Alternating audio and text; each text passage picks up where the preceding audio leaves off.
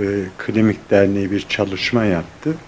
O Klinik Derneği'nin açıklaması yani bu ilacın bir faydası yoktur diye. Fakat bu ilacın etkisiz olduğu çok uzun süreden beri biliniyor. Yani bu Türkiye'deki verilerle söylenen bir söz ama e, yurt dışında ilk başta birçok ülke hidroksiklorokin dediğimiz sıtma ilacını da favipiravir kullanmaya başladı ama en kısa sürede Türkiye'nin dışında değerlendirmeler yayınlandı ve bu ilacın etkisiz olduğu görüldü. E, ve etkili bir ilaç da bulunamadı zaten o geçen dönemde. E, fakat o dönemde bizim ısrarla bu ilacın bir yararı olmadığını ve kullanılmaması gerektiğini söylememize rağmen her iki ilaç içinde, o sıtma ilacı içinde, favipiravir içinde e, bilim kurulu sürekli o ilacın kullanılması için işte merkezleri aradı. Bunları verdirmeye çalıştılar. Biz çocuklarda hiç kullanmadık. Ama yetişkinlere kullanıldı. Şöyle, yani bir yararı olmadı ama bir zararı oldu mu diye sorarsanız açıkçası her ilacın bir yan etkisi vardır. Bu bir kuraldır. Yan etkisi olmayan ilacın etkisi de yoktur. Ancak uzun süreli hayatı tehlikeye sokan ya da kronik bir hastalığa neden olan bir yan etkisi de favipiravir bilinmiyor. Dolayısıyla e, ilacı kullananların da telaşlanmasına gerek yok açıkçası. Bu ilaç aslında e,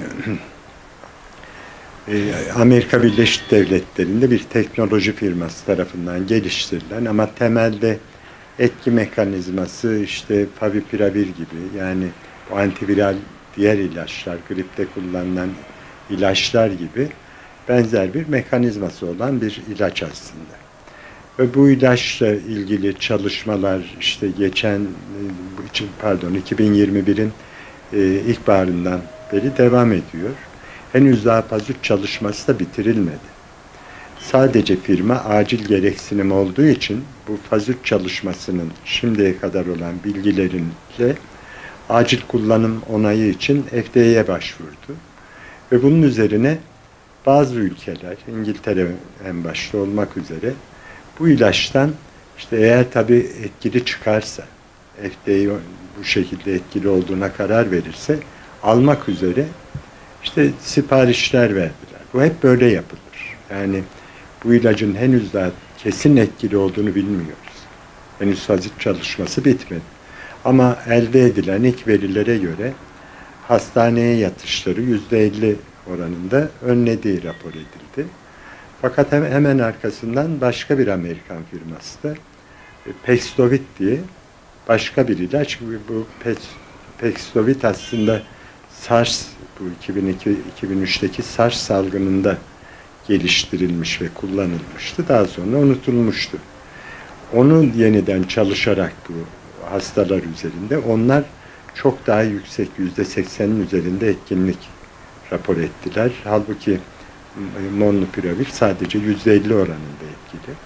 Şimdi biz başlarken de böyle bir hata yaptık. Yani bu ilaçları kullanılmaya başlarken aslında ben bunu direkt e, bakanlıkta da görüşmüştüm. İşte ise bir gruba bu ilaçlar verilip bir gruba verilmeseydi biz rahatlıkla işte bu ilaç bizde de şu kadar etkili ya da etkisiz diyebilirdik. Ancak bilim kurulunun son derece yanlış bir kararıyla dendi ki bu ilacın etkin olduğunu Çinliler gösterdi. Eğer etkin olduğu bilinen bir ilaç varsa bir grup hastaya bu ilacı vermemek etik olmaz. Yani ahlaki olmaz dediler. O nedenle herkese yani PCR pozitif bırakan çıkan herkese bu ilaçlar kullanıldı. Bir süre sonra işte sıtma ilacının e, yan etkileri de fazla olduğu için ve de etkisi olmadığı için o kullanımdan kaldırıldı ama favipiravir için yerli üretimde yapıldı ve dolayısıyla bakanlığın elinde epeyce ilaç oldu ve e, bakanlık birçok ülke bırakmışken bu ilacı kullanmaya devam etti.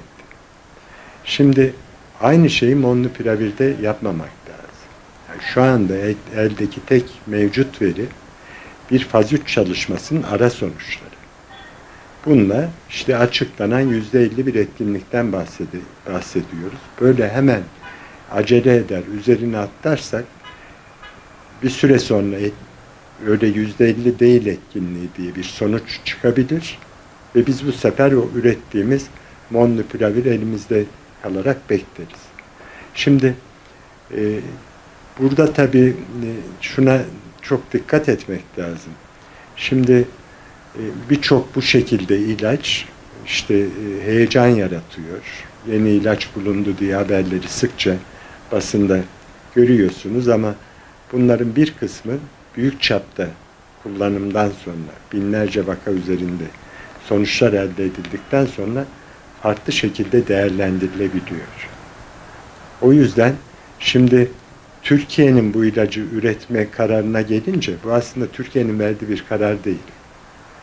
Bu e, normalde bir ilaç geliştiren herhangi bir şirket eğer kendi buluşu ise o ilaç bir belli bir süre bilgi koruma kanunu vardır.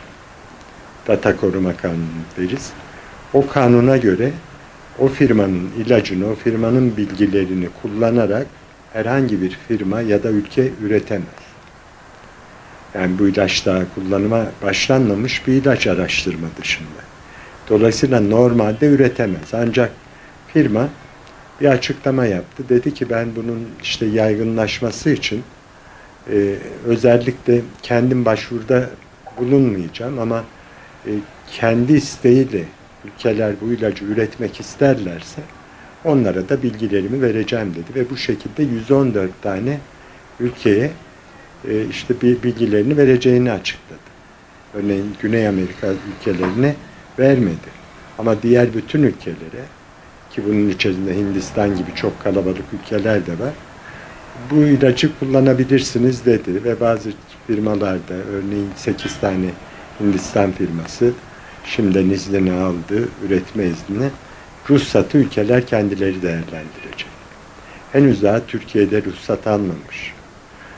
E, ve etkinliği çok açık gösterilmemiş bir ilaç için şimdiden işte biz bunu üreteceğiz, bütün herkese ücretsiz dağıtacağız demek biraz erken aslında. Dediğim gibi biraz bekledikten sonra o yüzde elli e, etkinlik oranları farklı bir şekilde çıkabilir. Bu daha yüksek de çıkabilir, düşük de çıkabilir. Çünkü bunlar sadece bir ara sonuç. Paxlovid ise henüz daha biraz daha geriden geliyor. Daha etkin görünen ilaç. O ilaç e, işte önce Amerika Birleşik Devletleri'nden ruhsat alacak. Ondan sonra o firmanın böyle bir açıklaması yok yani biz bu bilgileri paylaşacağız diye. Molnupiravir bu şekilde izin vermesinin bir nedeni de daha sonra arkasından hemen diğer firmanın daha etkin görünen bir ilacının açıklanması. Dolayısıyla onlar yani buradan e, çok büyük bir e, gelir beklentisi olmadığı için şu anda ülkelere e, izin vereceklerini açıkladılar. Durum bundan ibaret aslında.